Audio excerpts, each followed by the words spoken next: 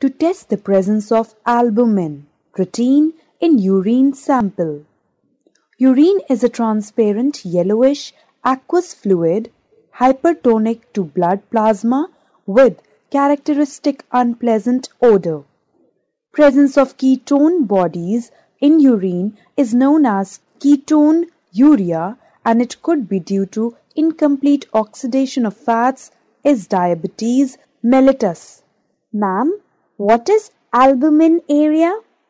Albuminuria is the presence of albumin proteins in urine as it occurs during nephritis when size of filtration slit enlarges. Let's do an experiment to test the presence of albumin protein in urine sample.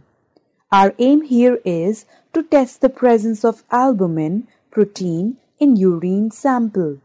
The materials required are test tubes, test tube stand, spirit lamp, test tube holder, urine sample, 30% sulfo-salicylic acid, Roberts solution, HNO3 MgSO4. Procedure and observations. Experiment Sulfo-salicylic test. Take 2 ml of urine sample and add 2 ml of 30% sulfo-salicylic acid and warm it. Observation White turbidity is observed. Inference The given sample contains albumin. Ring test Take 2 ml of urine sample and add 5 ml of Roberts solution. A layer of ring over Roberts solution is seen. The given sample contains albumin.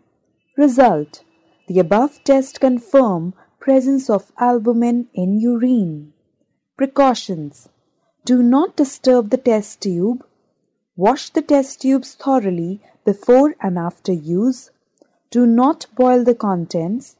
Use the desired quantity of chemicals. Do not waste them. Thank you, ma'am. You have given a great knowledge through this experiment.